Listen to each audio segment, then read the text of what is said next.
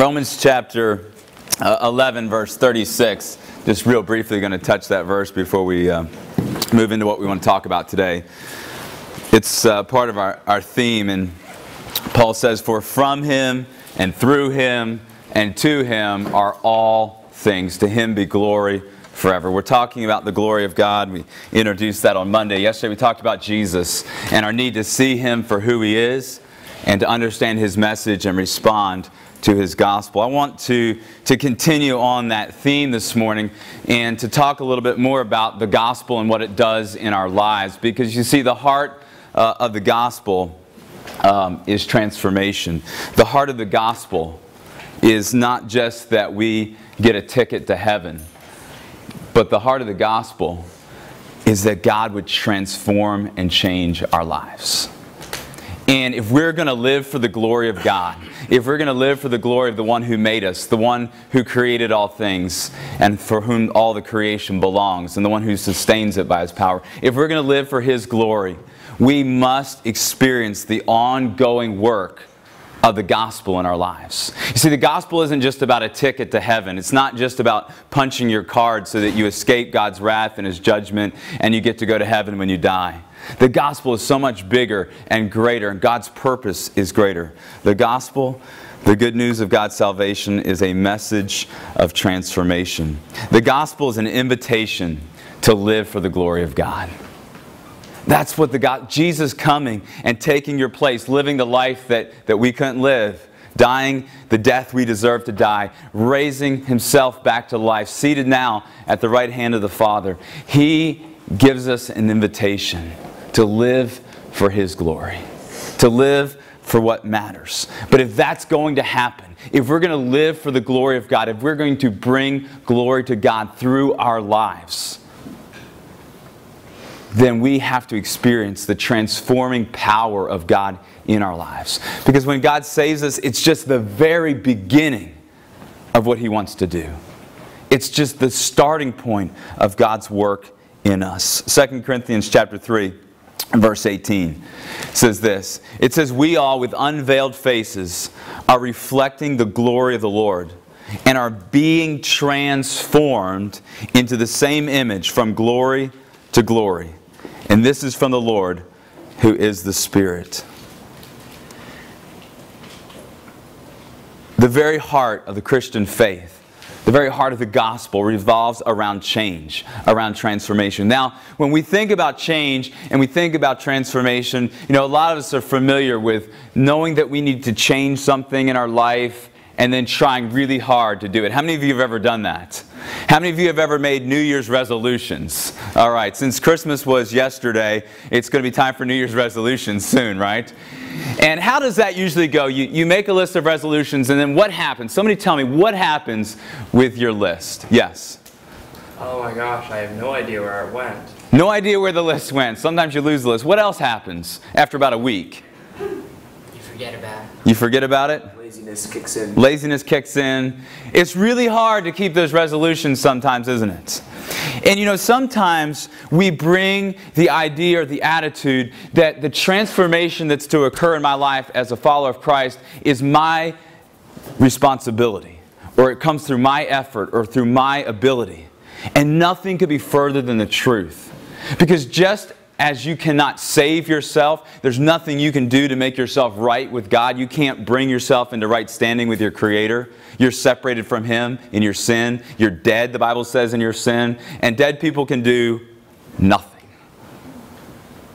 You can't save yourself. Only God can save you. Only His grace can save you. And here's something you need to get the transformation that God wants to bring about in your life is also something that you can't do apart from His power at work within you. Just as you can't save yourself, you can't transform yourself. Now, you can position yourself for that transformation. You have to participate in the transformation, but it's through God's power and for His glory. He saved you to transform you. He saved you to restore His image in you. All of us are created in the image of God, but that image is marred by sin. And we don't always reflect the glory of our Creator the way that He intended. But in God saving you, He is giving you the opportunity and the ability, the empowerment to reflect Him, to reflect His glory so that we can be transformed and reflect the glory of God in God's world, in God's kingdom. And that restoration, that transformation is something that God desires in all of us. The Bible calls it sanctification, it's part of God's work. And I want us to, uh, I know we've looked at a couple passages, but if you turn to Hebrews chapter 12, I want us to spend a, a few minutes there this morning because I really think it's, it's there in Hebrews chapter 12. Actually, um, before we get to Hebrews 12, I'm going to stop in Ephesians 1 4. Would that be okay? I know you guys are getting a little workout there this morning turning pages. But uh, in Ephesians 1 4, one of my favorite passages in my favorite book of the Bible, I think. Ephesians 1 4 says that He chose us in Him before the creation of the world to be adopted, to be holy and blameless in His sight. In love, He predestined us to be adopted as His sons through Jesus Christ, in accordance with His pleasure and will, to the praise of His glorious grace, which He has freely given us in the one He loves. Now, let's just check that out for a minute because I, I, want you to understand why you should position yourself for transformation. That's what we're going to look at in Hebrews 12. But before we get there, it says, it says, God chose you in Him before the creation of the world to be holy and blameless in His sight. Your salvation was something that God has planned and ordained before the foundation of time. Now, I know there's some of you that are Calvinists and some of you that are not Calvinists. Guess what? I'm not a Calvinist and I'm not an Arminian. Because I've never found anywhere in this book that God fits in either one of those boxes. God's way bigger than our little theological boxes that we get so worked up about. But here's what I do know the Bible says that God is sovereign, and God says that we are responsible, and both are true. But it's comforting and encouraging to know that God chose you. And listen to what he says He didn't just choose you to take you to heaven. It as He chose you to be holy, to be set apart, and to be blameless. It means with faultless, without blemish.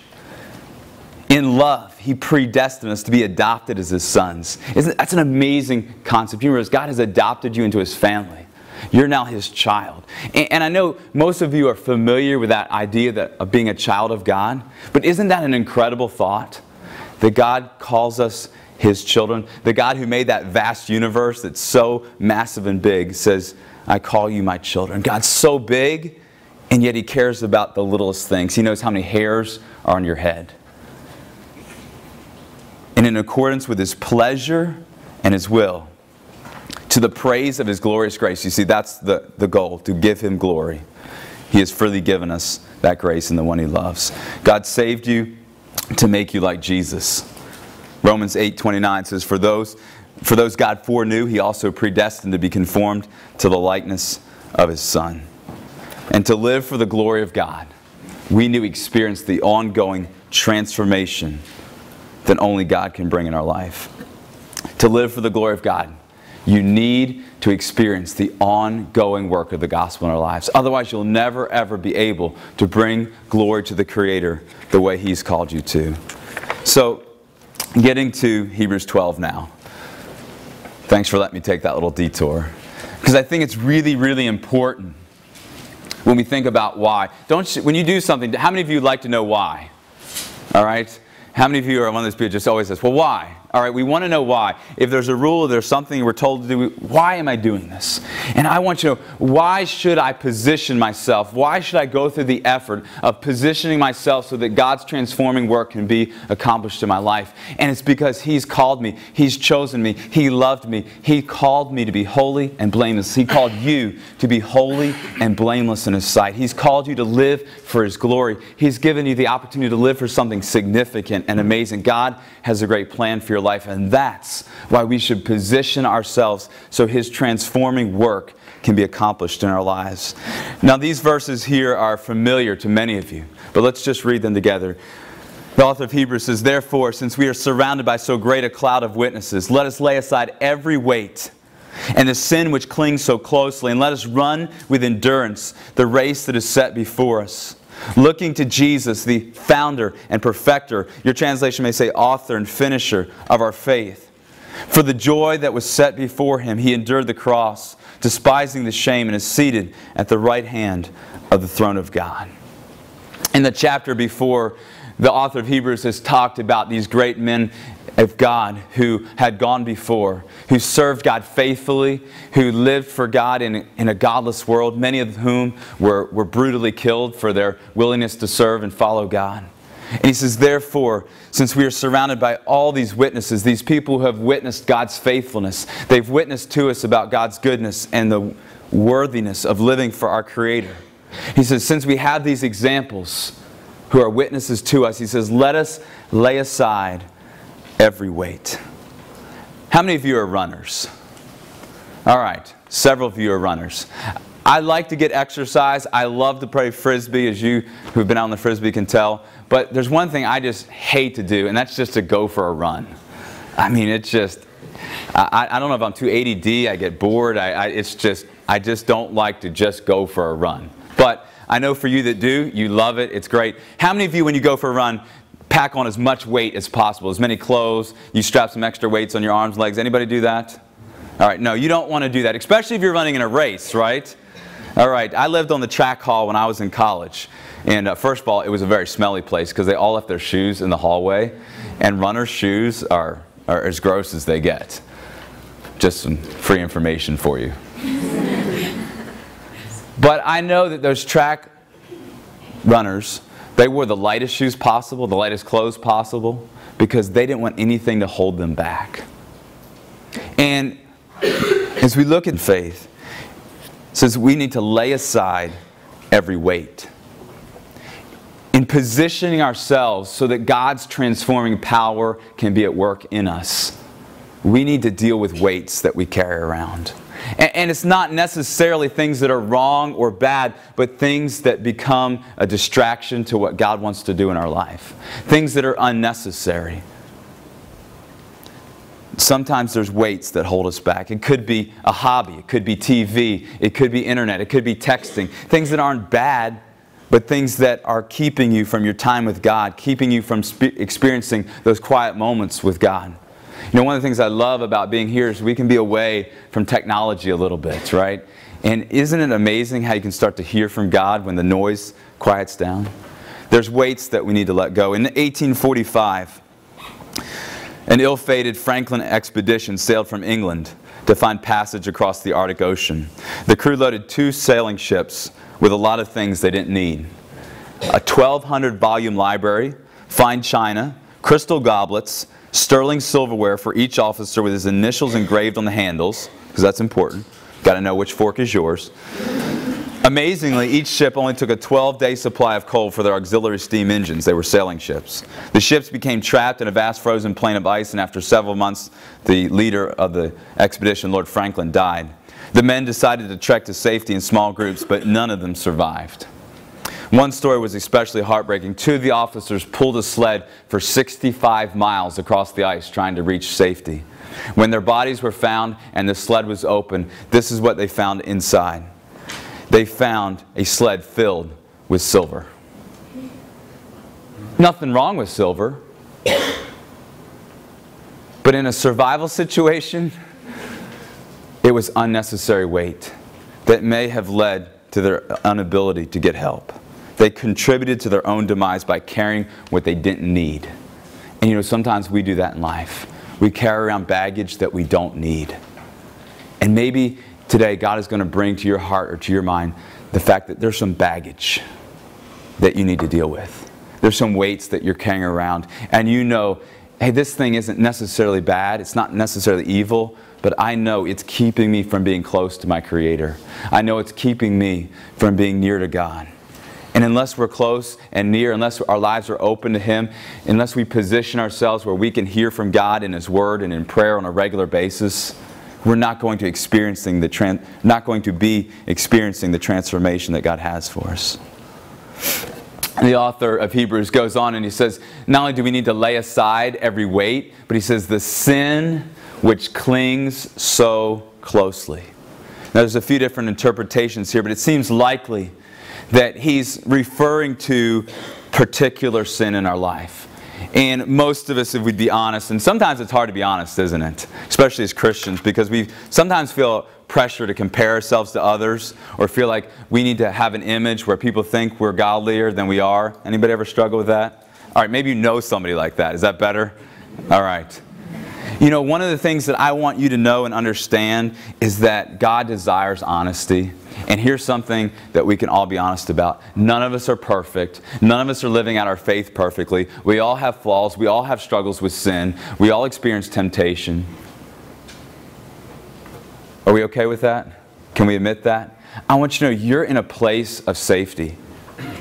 You're in a place where, where you have people that you can talk to. Your counselors, if you go to them and talk to them about a struggle that you're having, even if it's a sin, they're not going to slap you, all right? I promise. They're not going to look down on you. They're not going to think that you aren't good. They're going to know that you're normal and they'll help you. But sin always grinds to a halt the transformation process in our life. And Satan, he opposes all that God does. And so he's constantly going to throw temptation at you. We're going to talk specifically about temptation next week. So if you're going to be here next week, you'll hear about that. If you're not planning on being here next week, you should stay for next week. Not just to hear my messages, because God has a great plan for you, and I, we'd love for you to stay. But sin is something we have to deal with in life. And if we're going to experience the transformation of God, we have to deal with the sin that clings closely. That means we have to be honest with it. That means we have to get it out in the open. That means to repent, to turn from it, to ask God to forgive us. But it also usually means to let someone else know. To say, hey, I need some help. I need some accountability. I need some encouragement because there's some sin in my life. And sin will halt the transformation process of God in your life. Sin makes you stupid. All right? If you were here a few years ago, we talked about stupid exits on the highway of life. All right, how many of you, anybody, was anybody here for that? All right, just a few of you. All right? We talked about how when you're traveling down the road of life and you're going down a highway, there's all these signs that try to convince you why you should get off at the next exit, right? If you've ever driven south on I 95 and you've made it to the North and South Carolina border, right? And all the Pedro says, stop it south of the border, it's going to be great, it's going to be wonderful, and you get there and you're like, wow, that didn't really live up to expectations. but in the same way, Satan is always going to say, hey, I've got a great opportunity for you, just get off the exit. I've got something that will be great, but it will destroy your life. And so we need to deal with sin. And if you know there's a sin that you're struggling with, most of us have one or two that are really, really troubling. That's why it says it clings closely. You ever notice how you just you keep doing the same thing and you hate it and you ask God to forgive you and you keep doing it again? Anyone else been there? Please tell me I'm not the only one. Thank you. All right. But we have to deal with that. We have to work through that if we're going to experience the transformation that God has for us. We're to run with endurance. How do we do that? Because if I know anything about running is you get tired. But if there's a goal in mind, once you see the finish line, you get a little bit more energy, don't you? And that's a key. And a key to running the Christian life, positioning yourself for the transformation that God has for you, is to keep your eyes on Jesus. Right? Because it's not about you, right? It's all about Him. It's all about His glory. And so the way that we experience this, the way that we, we deal with the weight and we deal with the sin, the way that we run with endurance is to keep our eyes on Jesus. Because it's all about Him and it's all about His glory and it's all about His kingdom. He's the reason for our transformation. All right? It's, it's what He did for us. And it's His power that accomplishes us. And so we have to get our eyes off of ourselves and onto Jesus. When you get your eyes on Jesus, you'll position yourself for the transformation that God has for you. He's the author and finisher of your faith. I mean, He's the originator. He's the one who saved you. He's the one who made it possible for you to be saved. And He's the one who makes it possible for you to be transformed. It's all about Him. I think it's pretty amazing as you go back and if you have your Bible still open and you look back there in Hebrews 12. It says that we're to, to, to keep our eyes on Jesus. the author and the finisher of our faith. And it says, For the joy that was set before him, he what? He endured the cross, despising its shame. Jesus endured the cross for you. And the most painful part about the cross was not the nails and not the crown of thorns. Although I'm sure that in, as far as physical pain, there probably wasn't anything more excruciating than what Jesus went through. But as great and as intense as that physical pain was, the shame of God, pure, holy, perfect, taking your sin and my sin upon himself was incredible. I mean, think about how you feel when you know you've sinned and you haven't dealt with it yet, and you feel guilty, and you feel ashamed and embarrassed and dirty. And that's just one sin you're dealing with. The Creator took your sin, all of your sin, the sin of the whole world, upon Himself. But the reason He did it was because He loved you and because He wanted His kingdom purposes to be accomplished in you. And so, for the joy that was set before Him, because He could see what was going to happen, because He knew what His death would accomplish, He willingly went there for you. And it's the cross that reminds us that God has a great plan for our life. And that plan is to transform us, to restore us, so that our lives can bring glory to Him. That's the heart of the gospel. It's not just about getting saved, it's not just about going to heaven, which is going to be amazing. We're going to live in the kingdom of God forever. Heaven is going to come down and join with a newly created earth, and we're going to get to enjoy it and experience it forever and ever and ever and ever. And that's an incredible hope, an incredible future that we all have. But that's not all the gospel is. The gospel is about here and now experiencing the life of God, the power of God, the transformation that God wants to work in you. Jesus endured the cross because of the joy that would come from what would happen. In the same way, we position ourselves for transformation. We say, you know, it's worth it to make the sacrifices that are required. It's worth it to deal with the weights. It's worth it to deal with the sin. It's worth keeping my eyes on Jesus because there's joy that comes from experiencing transforming power. There's joy that comes from living in the will of God. I promise you that. Joy is found in God. He's the giver and the source of joy. And God wants to make your life His restoration project. Grace that saves you, transforms you. When God saves you, it's just the beginning of His work. But we have to position ourselves for that work. We don't do the transforming. It's, you know, the Christian life is not turning over a new leaf, all right? How many of you have turned over new leaves before, right? You know, I mean, I've went through a whole tree before. It, it, it doesn't work, all right? So if you uh, walk across campus and you see a tree without leaves, you'll know that was just me trying to turn over a new leaf. It's not about turning over a new leaf. It's about living a new life the life that God gives you and puts in you. And it's through His grace and through His power. God wants to make your life His restoration project. And He wants to restore His image in you so that you can more fully and fully, as you live your life, bring glory and honor to God. And there's nothing greater to live for. Why? Because from Him, through Him, and to Him are what? All things. That's what life's about. As He restores His image in you, you'll be more and more able to reflect His glory. I want to challenge you this morning to see your life through, through God's eyes. As we get ready to wrap up our thoughts this morning, here's where I want to bring your thoughts to. I want you to see your life not through your eyes, but through God's eyes. I, I, want you to try to look at yourself the way He looks at you. Because we all look at ourselves differently, don't we? Some of you, you look at yourself and you look in the mirror and you think, wow, I'm some of God's very best work. I know there's a few of you, and you're probably on this side of the room, all right? And there's some of you, this, whether it's comparing yourself to others, some of you struggle to feel worthy or accepted or good enough. But I want you to see yourself through God's eyes. Because God looks at you and He says, I love you. I chose you. I created you. I gave my son for you. And I love you with an unconditional love.